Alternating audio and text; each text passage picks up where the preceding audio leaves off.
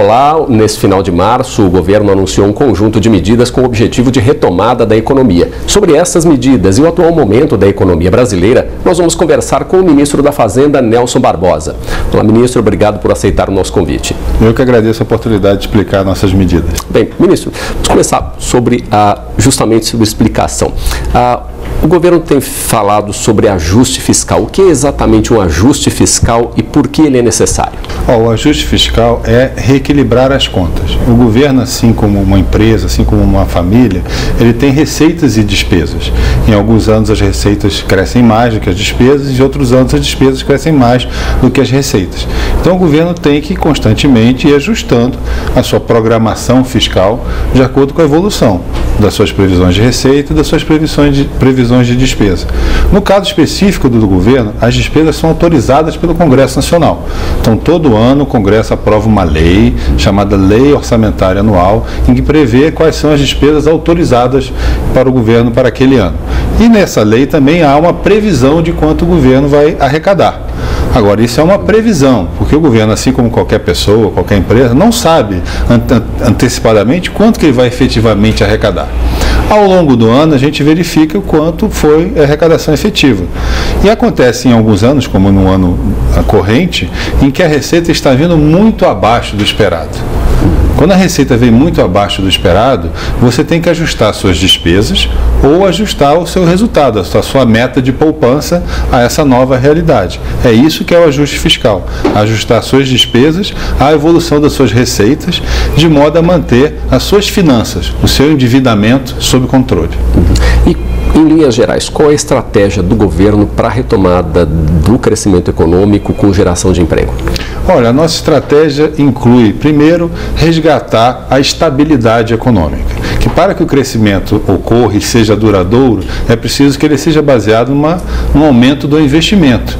E para que as pessoas invistam, elas precisam ter uma previsibilidade, uma maior segurança sobre o que vai acontecer, não só nesse ano, mas também nos próximos anos. Então isso envolve controlar a inflação, restabelecer o equilíbrio nas finanças públicas. Em segundo lugar, nós também estamos adotando medidas diretas para ajudar a economia nessa fase de maior dificuldade. Medidas, por exemplo, para aumentar a oferta de crédito, porque nesse momento em que várias pessoas, várias famílias, várias empresas estão fazendo ajustes, é preciso também dar crédito para que as pessoas possam tempo para tenham tempo para se ajustar. Então tem medidas de aumento da oferta de crédito. Em terceiro e último lugar, nós também estamos adotando medidas de manutenção de programas sociais importantes e manutenção de investimentos. Nós estamos pedindo ao Congresso Nacional uma autorização para que, mesmo no cenário de uma receita menor do que o esperado, nós possamos manter programas essenciais para o funcionamento da economia, por exemplo, saúde, educação, segurança, e programas essenciais para a recuperação do emprego, que é a realização de investimentos, completar os investimentos que já estão em andamento no país. Ministro, o senhor citou os programas sociais como uma forma também de, que, como um item que contribui para a retomada do crescimento. De que forma, enfim, a manutenção desses programas sociais está relacionada à retomada da economia? Oh, você, quando você mantém um programa social, você está dando uma, uma, um auxílio à população no momento de maior dificuldade. Um programa social clássico, seguro-desemprego. Às vezes você tem uma redução de nível de atividade como a gente tem agora, que aumenta o desemprego e temporariamente aquelas pessoas, enquanto não conseguem um outro emprego, tem, podem recorrer ao seguro-desemprego. Essa é uma despesa do governo, é uma despesa que auxilia essas pessoas nesse momento de transição, enquanto a economia não se recupera. E isso permite que mantenha o poder de compra da, da, da população, pelo menos num patamar mínimo, evitando uma queda do consumo. E aí, evitando a queda do consumo. O consumo mantém... contribui, você mantém a demanda, você mantém as compras, essas pessoas podem manter as suas compras e consegue manter é, a geração de emprego, consegue manter a economia funcionando. Ok. E como é que essa estratégia se combina aí com o ajuste fiscal? Olha, a gente está procurando combinar duas coisas. Nós estamos pedindo uma autorização ao Congresso Nacional para que a gente possa absorver essa frustração de receita, esse fato que as nossas receitas estão vindo bem abaixo do esperado.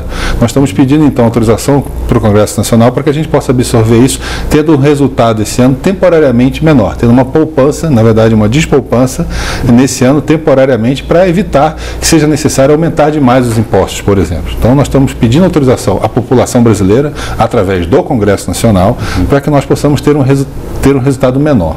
Com isso, a gente evita de ter que aumentar muitos impostos. E, ao mesmo tempo, também estamos pedindo autorização do Congresso Nacional para manter despesas e programas essenciais para o funcionamento da economia e para o atendimento da população. Manter programas como os investimentos na ferrovia Norte-Sul, os investimentos no programa de integração São Francisco, os investimentos do Minha Casa Minha Vida, programas sociais como Bolsa Família e, sobretudo, programas essenciais como saúde e educação. Entre essas medidas que foram anunciadas agora no final de março pelo governo, uma propõe um limite de gastos né, para, as despesas do governo, outra propõe reservar menos recursos para o pagamento de juros da dívida, a chamada meta fiscal, e existe ainda a proposta de um regime especial de contingenciamento, que, é aquela, que são regras para garantir que, em caso de bloqueio de recursos do orçamento, ah, os recursos para saúde e educação, por exemplo, áreas consideradas essenciais ou estratégicas, esteja garantido. Ah, que efeito se espera do conjunto dessas medidas na economia? Ah, o efeito principal é, é dar ao governo os instrumentos necessários para que o governo possa atuar de imediato para estabilizar a economia. O que é estabilizar a economia? Fazer com que, com que a renda pare de cair, fazer com que o emprego se estabilize, e para isso o governo precisa ter, manter alguns dos, dos seus programas, evitar cortar alguns dos seus programas. Mas também é importante que isso seja feito de um, de um modo duradouro que a gente não só estabilize a economia, mas que a gente crie as bases para que a economia possa crescer de modo duradouro. Então é por isso que, em conjunto com medidas de flexibilização no curto prazo, medidas de, que darão mais espaço para o governo ajudar na recuperação da economia já nesse ano, nós também estamos propondo regras de médio e longo prazo que vão garantir que essa recuperação vai ser compatível com uma situação equilibrada. Regras que vão colocar um limite, por exemplo, no crescimento do gasto do governo né? porque o gasto do governo ele depende da arrecadação do governo, do, do dinheiro que os contribuintes pagam ao governo. Se o gasto do governo for crescendo, crescendo, crescendo sem limite, você vai ter um desequilíbrio. Então, por isso que a gente está tentando combinar as duas coisas. Um pedido de autorização para que a gente possa ter mais flexibilidade e espaço para atuar agora, que a economia precisa, que a gente tem que estabilizar o emprego, estabilizar a renda e, ao mesmo tempo, colocar regras de longo prazo que vão garantir que essa recuperação vai ser duradoura, que essa recuperação vai ser compatível com o controle da inflação e com reequilíbrio das finanças públicas, com controle da dívida do governo. Ah, ministro, o governo anunciou uma nova meta fiscal que prevê um déficit que pode chegar a 96 bilhões de reais. O que, é que significa exatamente ter um déficit no orçamento? Nesse caso, significa que as nossas receitas não serão suficientes para cobrir todas as despesas nesse ano. Então o déficit pode chegar até 96 bilhões de reais. Nós só vamos saber esse número com certeza no final do ano, mas pelas previsões que nós temos hoje, nós vislumbramos que, como a receita vem caindo muito e nós temos que manter algumas despesas que são despesas obrigatórias e além de obrigatórias são essenciais, mesmo numa situação de crise, o governo tem que manter o seu gasto com saúde, seu gasto com educação, seu gasto com seguro-desemprego, tem que manter seu gasto com investimento. Nem todo gasto do governo você pode cortar de uma hora para outra. Então, nós estamos pedindo essa autorização para ter esse resultado negativo, digamos assim, a diferença entre receitas e despesas. As receitas vão ser menores é, que as despesas em até 96 bilhões de reais, as chamadas receitas não financeiras, sem contar pagamento de juros. Uhum. Quer dizer, isso significa que a, o governo, apesar de ter uma receita menor, ele vai manter esses investimentos eh, considerados estratégicos. O senhor citou, por exemplo, a, ao anunciar as medidas, o caso de obras que estão em fase final de conclusão e a programas sociais. Isso vai ser mantido? Isso vai ser mantido. Do nosso gasto, é, é importante essa pergunta para esclarecer uma coisa. O governo, diferentemente de uma família ou de uma empresa, o governo é, tem o que é chamado gasto obrigatório. 81,5% do, do, do, do gasto do governo, do gasto primário, ele é obrigatório. Quer dizer o quê? De cada 100 reais que o governo tem de gasto não financeiro, R$ 81,50 são obrigatórios. Eles são fixados por lei ou pela Constituição. Ou seja, o governo não tem como reduzir esse gasto sem mudar leis ou mudar a Constituição. Então o governo tem que manter esses gastos por lei. Além disso, pela própria, pelo próprio interesse social, é importante que o governo mantenha a maior parte desses gastos, porque se trata de previdência social, saúde e educação. Então, no momento de queda de receitas, em que todos estão ajustando suas despesas, as famílias estão ajustando suas despesas, as empresas estão ajustando suas despesas e o governo também está ajustando as suas despesas. Mas no caso do governo, ajustar despesas significa passar leis e reformas no Congresso Nacional. Isso leva algum tempo. Enquanto isso não é feito, o resultado é você ter um desequilíbrio temporário que é esse resultado negativo de até 96 bilhões, que é o reflexo da manutenção desses, principalmente desses gastos obrigatórios e da preservação dos gastos essenciais, principalmente dos gastos de investimento. E, ministro, também entre as medidas está o alongamento das dívidas dos estados com a União. Né? É, como é que essa medida vai impactar as contas do governo e qual é a finalidade dessa medida? Quer dizer, qual é o resultado também para os estados e para a população em geral? Olha, vários estados, assim como o governo, tiveram uma queda da sua arrecadação. Então, vários estados estão tendo dificuldades em cumprir com seus compromissos. A gente tem visto na imprensa vários estados que têm dificuldade em pagar a sua folha de pagamento, vários estados que cortaram investimentos porque tiveram a sua receita reduzida. Então, nesse momento, o governo está oferecendo auxílio aos estados. A maior parte da dívida dos estados é para com o governo federal.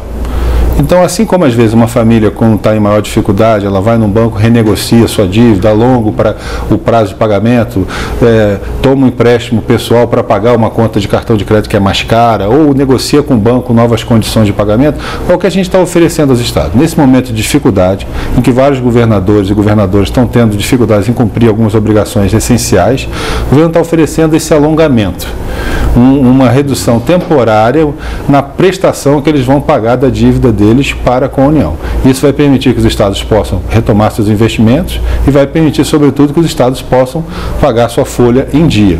Agora, isso está sendo feito também em troca de medidas estruturais, de que os estados adotem regras, principalmente de controle de gasto, com pessoal, com previdência, para que isso, esse alongamento não só resolva a situação de curto prazo, mas ele também resulte numa, numa situação mais equilibrada daqui a 5, 6, 7 anos. Quer dizer, com esse alongamento, esses estados, por exemplo, pelo menos nos primeiros anos, eles têm uma folga maior para investir em outras áreas, é isso? Eles terão uma folga maior para investir em outras áreas e também para cumprir com seus compromissos em com saúde, educação, segurança. Uhum. E essas medidas que o senhor disse, essa contrapartida que os estados têm que dar caso eles decidam aderir a essa proposta do governo, é, quais, são as, quais são as propostas? O que é que os estados têm que fazer?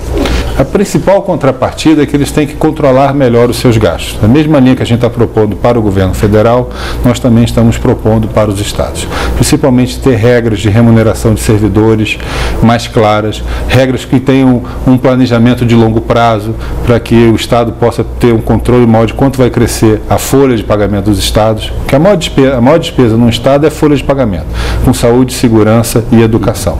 Então, as, é, nós estamos propondo a adoção de algumas regras que controlem melhor o crescimento desse gasto e também algumas regras de previdência, para equilibrar a previdência estadual, que também é uma fonte de desequilíbrio nos estados. Então, aumentar a contribuição para que os estados aumentem as suas contribuições, tanto dos funcionários quanto do próprio governo, para os seus planos de previdência. E com isso, reequilibrar os planos de previdência, garantindo que os estados tenham finanças mais equilibradas e que os servidores públicos tenham uma previdência que vai ser sustentável, que vai garantir que eles vão ter seu rendimento quando se aposentarem. Bem, ministro, nós vamos fazer agora um breve intervalo. Daqui a pouco o NBR Entrevista Especial volta com o ministro da Fazenda, Nelson Barbosa.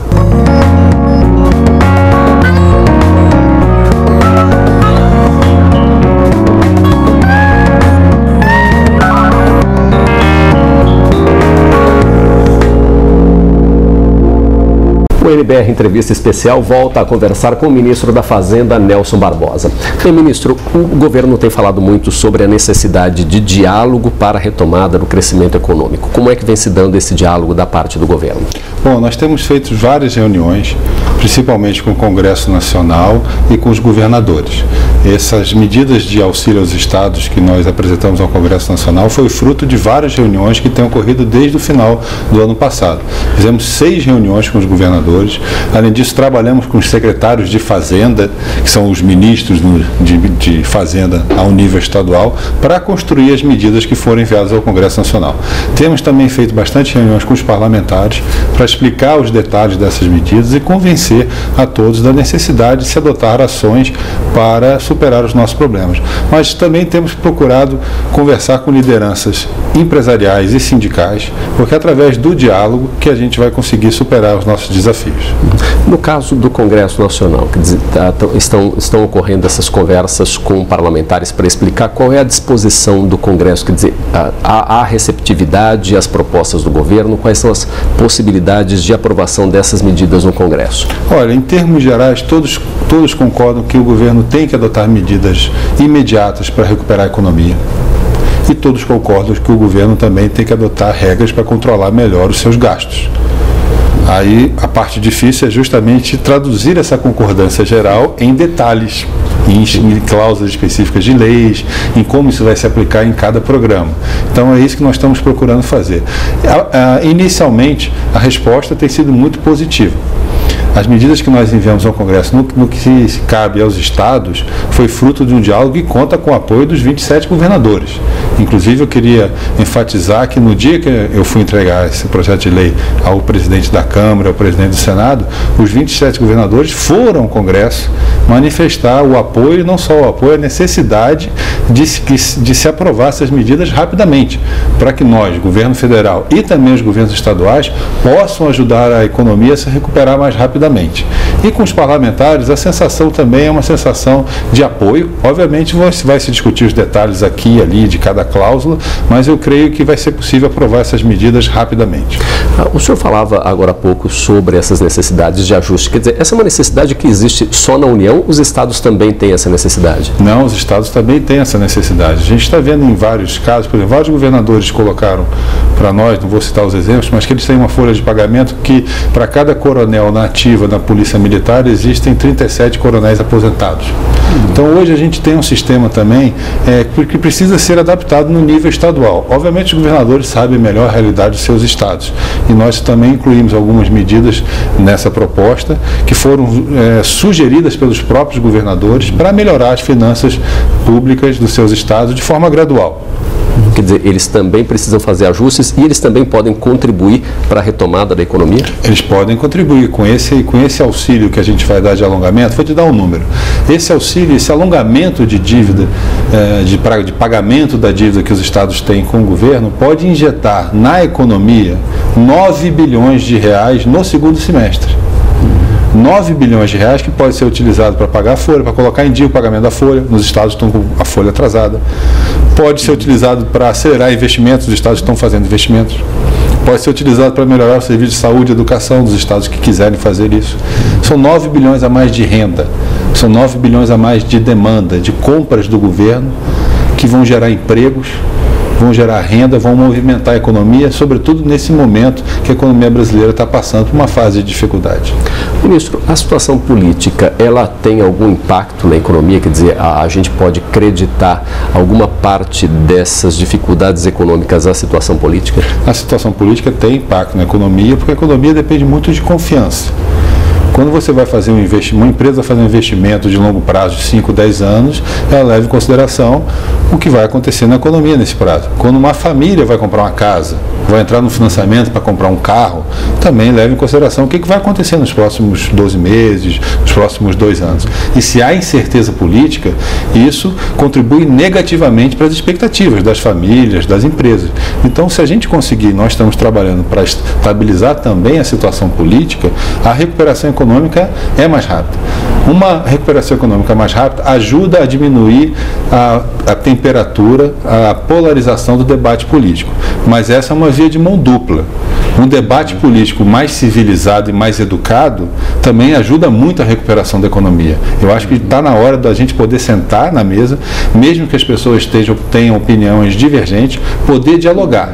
Um debate em que todo mundo grita e ninguém ouve ninguém não vai resolver problema nenhum Nós precisamos agora de um diálogo civilizado e educado, mesmo que as pessoas tenham opiniões diferentes. No caso dessas negociações ah, sobre a pauta econômica no Congresso, esse diálogo tem se dado de forma civilizada? Quer dizer, existe um interesse por parte do Congresso Nacional por entender as medidas do governo e então se posicionar? Até esse momento, sim, há uma disposição, como, como eu falei, no, momento que nós entregamos esse, esses projetos na, na, na, Câmara dos Deputados e no Senado Federal, os governadores foram lá manifestar o seu apoio, os próprios presidentes da Câmara e do, e do, e do Senado manifestaram a intenção de votar isso rapidamente, eles sabem que a economia tem pressa.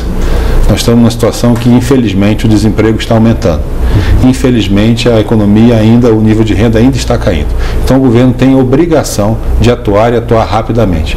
Nós estamos fazendo a nossa parte e o Congresso também está disposto a fazer a sua, a sua parte. Eu tenho certeza que o Congresso vai colaborar é, nesse desafio. Quer dizer, sem o, o, o, papel do Congresso Nacional, ele é fundamental nesse momento.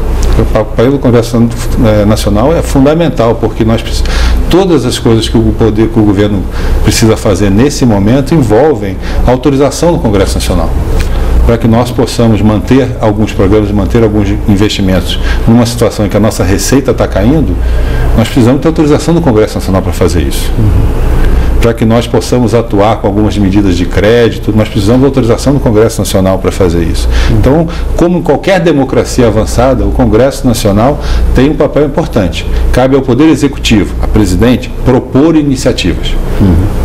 Cabe ao, e cabe ao Congresso Nacional aprovar essas iniciativas para que a presidente possa executá-las. E hoje nós estamos numa situação que a maior parte das iniciativas que a gente precisa para estabilizar a economia depende da aprovação do Congresso Nacional. Se o Congresso Nacional nos der os instrumentos, nós vamos estabilizar a economia ainda nesse ano. E qual é a avaliação do governo sobre a possibilidade de aprovação dessas medidas no prazo é considerado adequado pelo governo? Olha, nós achamos que essas medidas podem ser aprovadas no prazo de um mês a um mês e meio, talvez até antes. Nas conversas que eu tive com alguns parlamentares, eles se, eh, se mostraram dispostos até já começar a análise e a votação de, de alguns itens já na próxima semana. Mas, obviamente, vamos esperar o Congresso voltar. O Congresso é soberano é, em decidir qual é o ritmo que eles acham adequado para aprovar essas medidas. Mas a expectativa é positiva? A expectativa é positiva é que isso seja aprovado em no máximo um mês e meio para que a gente possa começar a atuar mais fortemente para recuperar a economia já a partir de junho. Ministro, no anúncio dessas medidas, o senhor disse que ah, também já é possível notar sinais de retomada da atividade econômica. Quais são os sinais ah, mais evidentes, na sua opinião, dessa retomada? Bom, antes de responder essa pergunta, eu queria é, enfatizar que a economia brasileira é uma economia continental, uma economia das maiores economias do mundo, uma economia com 200 milhões de habitantes, então é uma economia diversificada. Então nós já começamos a ver sinais diferentes em alguns setores. Por exemplo, o setor agropecuário tem, tem recuperado. O setor agropecuário, com os preços internacionais se estabilizando e com a taxa de câmbio mais favorável, o setor o agronegócio tem tido um bom desempenho. E além disso, nós melhoramos as linhas de crédito para o agronegócio. Ah, nós já podemos ver também uma recuperação das nossas exportações. No ano passado, nossas exportações cresceram em quantidade, em número de itens, toneladas de produtos exportados, elas cresceram cerca de 10%. E isso levou a uma recuperação do nosso saldo comercial, da diferença entre as exportações e as importações.